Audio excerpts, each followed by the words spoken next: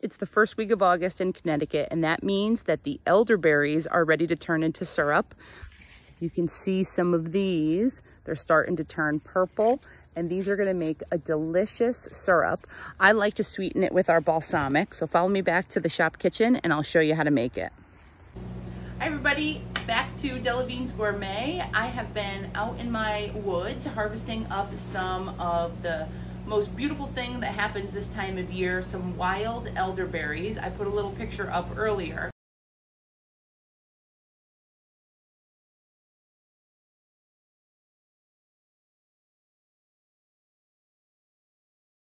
So this is my husband Dave. He's also into wild foraging.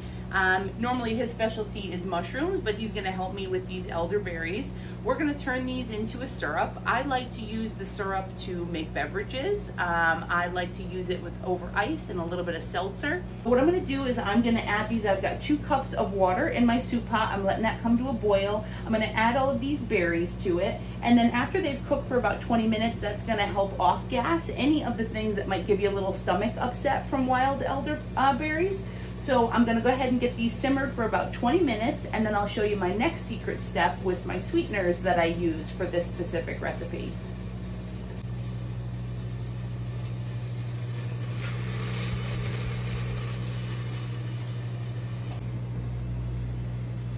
So this has been going for about 15 minutes. We're getting close to being ready to start our straining process and adding our sweetener. Um, so right before I get ready to strain, that's when I like to mix in either a balsamic vinegar or some honey if you don't like the flavor of the balsamic. Um, I'm gonna do a little bit of both in this recipe.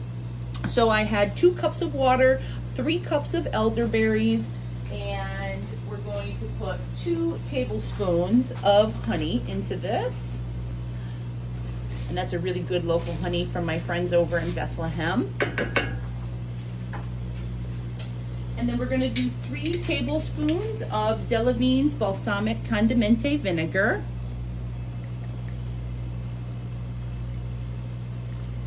All right, and I'm gonna shut the heat off to this, and then what we've gotta do is strain this next because we wanna remove the skins and the seeds and any little particles we may have missed in the picking of the berries. So I've got my bowl set up here and I've got a nice fine mesh strainer. Um, so this is just gonna help catch all those little particles. And we're gonna go just a little bit at a time. And then I like to press the berries as well. You may need an extra hand here just so you don't lose your strainer. You just wanna make sure you get all that goodness out. And then you can discard this pressing once it's all done. Okay, now that we've got the liquid all strained, you can see how thick and dark purple it is.